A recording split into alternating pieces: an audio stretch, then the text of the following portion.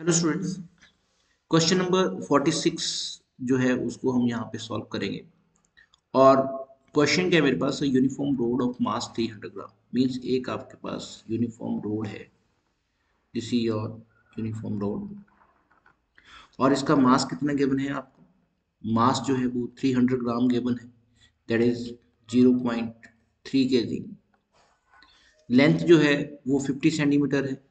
तो length 50 centimetre है that is 0.5 metre rotate at a uniform angular speed two radian per second तो जो उसकी एंगुलर स्पीड है that is two radian per second है, जिससे वो रोटेट कर रही है। अब देखो कौन सी एक्सिस के अबाउट वो रोटेट कर रही है। About an axis perpendicular to the rod उस एक्सिस पे जो रोड के परपेंडिकुलर है और कहाँ पे है?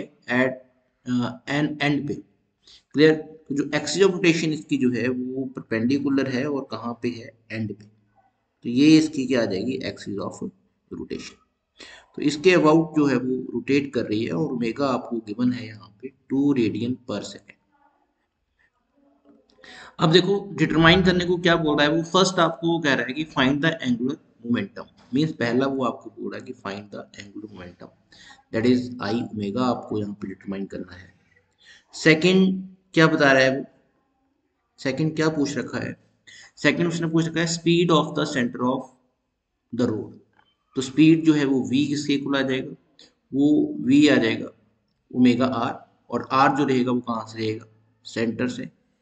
और थर्ड उसने पूछ रखा है आपसे काइनेटिक एनर्जी तो काइनेटिक एनर्जी मेरे पास क्या आ जाएगी? काइनेटिक एनर्जी मेरे पास आ जाएगी हाफ़ आई ओमेगा स्क्वायर तो यहाँ पे जो मोमेंट ऑफ़ इनर्शिया रहेगा रोड का वो क्या रहेगा?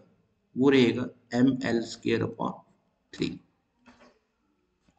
क्योंकि जो रोड है वो रोटेट कर रही है, वो जो एक्सिस है वो कहाँ पे है? एंड पे. अदरवाइज़ अगर जो रोड है, अगर सेंटर के अबाउट वो रोटेट कर रही है, तब उसका मोमेंट ऑफ़ इनर्शिया क्या होता है? That is M L square upon twelve तो यहाँ पे जो मोमेंट ऑफ़ इनर्शिया आएगा that is M L square upon three तो यहाँ पे एल मेरे पास कितना आ जाएगा?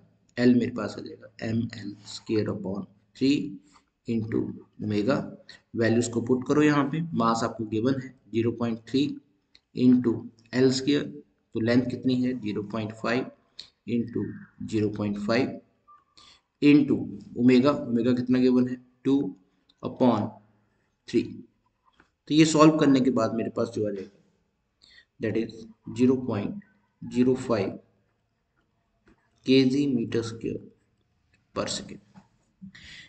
अब आपको v निकालना है तो v मेरे पास क्या आएगा? ओमेगा आर तो r जो होगा, वो कहाँ से डिस्टेंस होगा? सेंटर से। Speed of the centre of the rod निकालना है आपने। सेंटर ऑफ़ रोड की जो स्पीड निकालनी है। तो सेंटर का जो डिस्टेंस है, वो मेरे पास कितना आ जाएगा? टोटल कितना है? टोटल आपको पता है 0.5 मीटर है।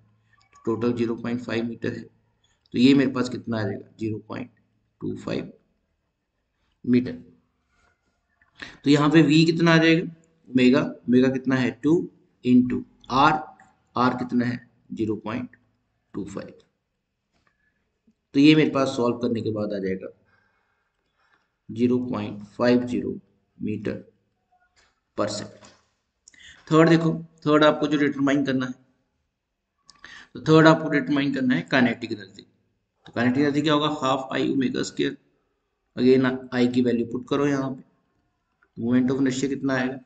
M L square upon three तो half into M L square upon three into omega का स्केयर दैट इज़ टू का स्केयर फोर बाकी वैल्यूज़ भी पुट कर दो। तो काइनेटिक एनर्जी आ जाएगा हाफ़ इंटू एम एम कितना है? Zero point three into zero point five जो लेंथ है इसकी। Point five upon three into four तो ये टर्म्स आपके कट जाएँगे। थ्री से थ्री कट जाएगा पॉइंट वन और टू टू ज़ फोर तो ये सॉल्व करने के बाद जो मेरे पास वैल्यू आएगी kinetic energy that is zero point zero five joule clear thank you students